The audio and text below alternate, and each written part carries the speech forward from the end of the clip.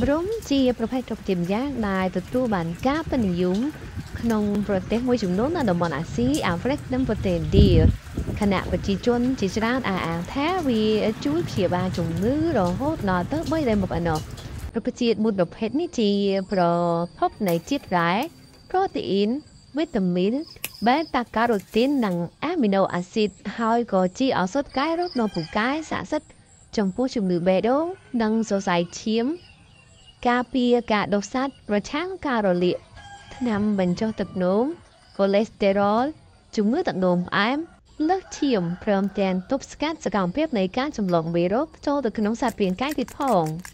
ស្លឹកម្រុំទុកនៅសារធាតុបេតាការ៉ូទីនវីតាមីន C ប្រឆាំងអុកស៊ីតកម្មនៅក្នុងឈាមជាដើមមួយវិញទៀតស្លឹកម្រុំមានសារធាតុកាកសរសៃដ៏ខ្ពស់ ជួយធ្វើការសម្អាតសារធាតុសេសសល់បន្ទាប់ពីការបរិភោគអាហារដែលសម្បូរដោយជាតិខ្លាញ់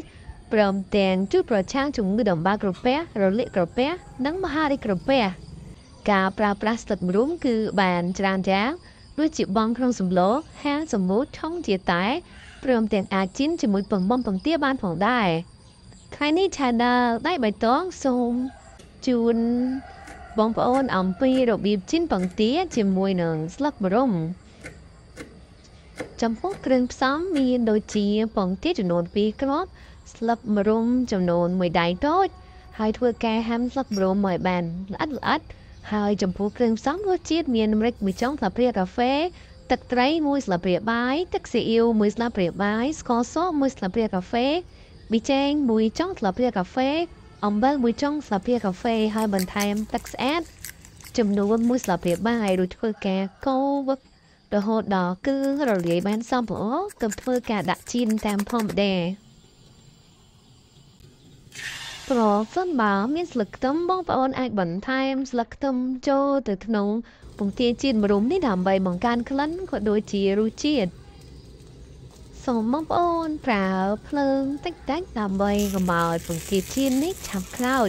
ហើយយើងរងចាំដល់ឡើងក្រៀមតិចតិចបែបនេះ ទៅធ្វើការប្រែពងទាជាតិនេះមកម្ខាងទៀតតែប៉ុណ្ណេះបងប្អូនអាចទទួលទានពងទាជាតិក្លឹបម្រុំនេះបានហើយ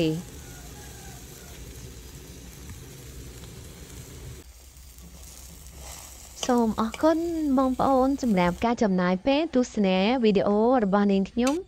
តាំងពីដើមរហូតដល់ចប់សូមកុំភ្លេចជួយចុច Subscribe ឲ្យ YouTube Channel របស់នាងខ្ញុំរយៈមួយផងដើម្បីទទួលបានវីដេអូថ្មីៗបន្តបន្តទៀតសូមអរគុណ